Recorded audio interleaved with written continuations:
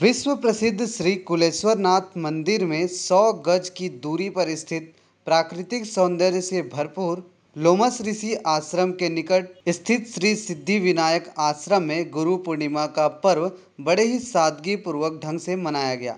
इस अवसर पर विश्व कल्याण एवं वैश्विक महामारी कोरोना से समूचे विश्व को मुक्ति दिलाने हेतु यज्ञ व हवन पूजन किया गया।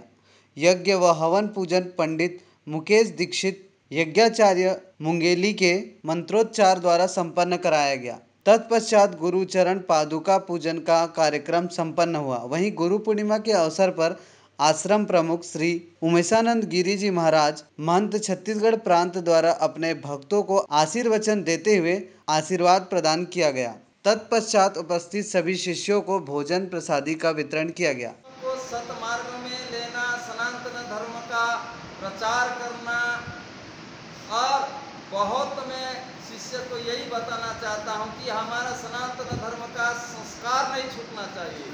जिस दिन हमारा संस्कार छूट जाएगा, आज हम नीचे ही रहेंगे। तो पहली यही मांगा हूँ कि जो आदर्श भी आके हमारे पास रहे तो उनको भी मांसाहारी को शाकाहारी बनाने के लिए उन्हीं से भी संकल्प लिए।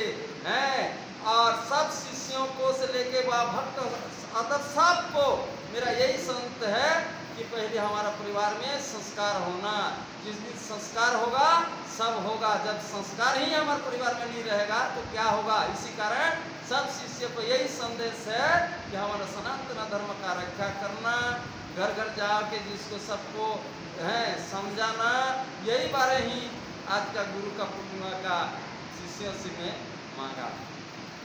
गुरु व शिष्य की पराकाष्ठा का पर्व गुरु पूर्णिमा पर। महंत उमेशानंद गिरी जी महाराज के शिष्य केवल नवपारा ही नहीं, अपितु गरियाबंद, धमतरी, कुरुद, राजीव फ्रिंगेश्वर भाटापारा, आरंग, रायपुर सहित अनेक स्थानों से गुरु पूजन कार्यक्रम में पहुँचे थे। कोरोना के चलते गुरु पूर्णिमा का पर्व यहाँ पर बड़े ही सादगी पूर्वक ढंग से मनाया गया। वहीं सोशल डिस्टेंसिंग व शासन की तमाम गाइडलाइंस का यहाँ पर पूरी तरह से पालन किया गया। यह पहला अवसर रहा जब उमेशानंद गिरी जी महाराज के दूर दराज व दूसरे राज्यों में रहने वाले भक्तों गुरुदेव का आशीर्वाद प्राप्त करने उनके आश्रम चाहकर भी नहीं पहुँच पाए। इस अवसर पर मुख्य रूप से स्मृति ठाकुर, उपाध्यक्ष, जिला पंचायत गरियाबंद, नरेंद्र देवांगन अधिवक्ता, सौरभ देवांगन, सुरेंद्र कुमार साहू, गुलाब राव, मनोज देवांगन, संजय साहू, कुलेश्वर साहू, अजय साहू निखिल राव चुआराम नगरची सहित बड़ी संख्या में शिष्यजन गुरु दर्शन व पूजन के लिए पहुँचे। डीएनएक्स टीवी के लिए नवापारा राजिम से विश्वेश्वर हिरवानी की रिपोर्ट। सर पर क्या क्या आयोजन संपादित हुए? बताएँ सर। आज प्रतिवर्ष अनुसार गुरु पूर्णिमा का कार्यक्रम आज आयोजित रहा। क्योंकि अभी कोरोना का संकट चल रहा है कोरोना काल चल रहा है वैश्विक कोरोना के संकट का दौर है। तो इस गुरु पूर्णिमा कार्यक्रम को बहुत सादगीपूर्ण संपन्न कराने के लिए पहले से पूर्व पूर्व कार्यक्रम तैयार किया गया था। उसी पूर्व कार्यक्रम के तहत बहुत सादगीपूर्ण सोशल डिस्टेंसिंग फॉलो करते हुए सोशल डिस्टेंसिंग एवं शासन के जितने गाइडलाइंस हैं, कोरोना संकट के काल के मद्देनज़र उनको फॉलो करते हुए कार्यक्रम आज आयोजित किया गए थे। सुबह से जो कार्यक्रम हुआ था, वो हवन कार्यक्रम रहा। हवन कार्यक्रम महाराज जी के द्वारा हवन कार्यक्रम संपन्न कराया गया। हवन के पश्चात महाराज जी का पूर्वानुसार प्रतिवर्ष अनुसार जो महाराज जी का जो पूजा पूजन सन होता है, जैसे गुरु पूजन की एक परंपरा है।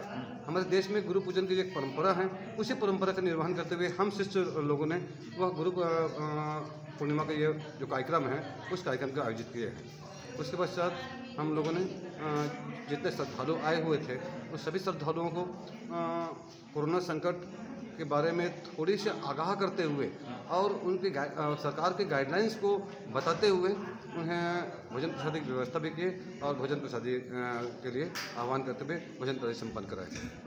जी आपको शुभ नाम बताएँ सर। मनोज देवांगन। गुरु पूर्णिमा पर मनाया गया यहाँ पर।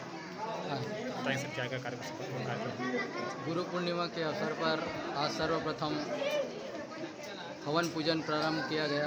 उसके बाद गुरु के चरण पद का गुरु पूजन किया गया। और यहाँ पर कोरोना महामारी को ध्यान में रखते हुए शासन के निर्देशानुसार सोशल डिस्टेंस का पालन करते हुए यहाँ पर शांति के रूप में गुरु पुण्य मनाया गया। उसके उपरांत में भोजन प्रसादी ग्रहण करके सभी अपने अपने गंतव्य स्थान में चले गए। पर गुरु पूर्णिमा पर्व मनाया गया। और क्या क्या कार्यक्रम संपादित हुए, बताएँ सर। सर्वप्रथम गुरु के आदेशानुसार हवन पूजन का कार्यक्रम रखा गया था विश्व कल्याण के लिए। उसके बाद तत्पश्चात गुरु का चरण पादु का पूजन किया गया। गुरुदेव से आशीर्वचन के रूप में सभी लोगों को आशीर्वचन प्रदान किया गया गुरुदेव के द्वारा। इसके बाद सभी शिष्य भक्तों के लिए, अनुयायियों के लिए भोजन प्रसादी का प्रसादी रखा गया था। और प्रशासन के निर्देशानुसार कोरोना महामारी को देखते हुए सोशल डिस्टेंसिंग का पालन करते हुए सभी भक्तजनों का प्रसादी वितरण किया गया। सुरेंद्र कुमार साहू व्याख्याता शासकीय स्तर माध्यमिक विद्यालय दर्रा।